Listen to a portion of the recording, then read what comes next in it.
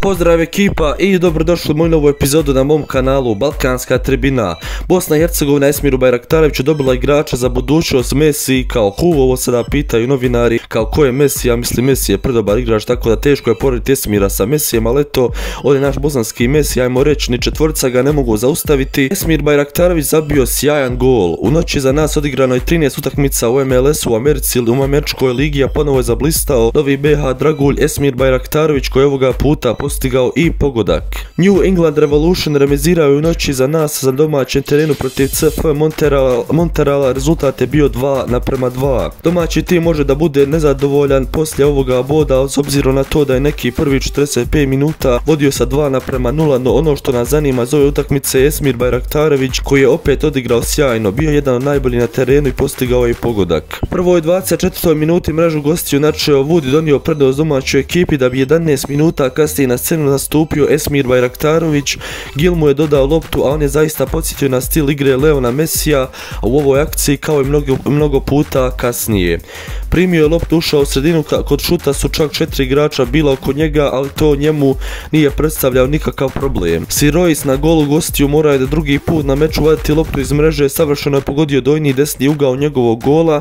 Drugo polovrijeme donio je dva pogodka gostiju, PR se je smanjio u 54. minuti, da bi im Bo donio Saliba u 68. minuti, dodajem ovome da je Esmir Bajraktarović igrao do 82. minute kada ga je zamijenio Gil.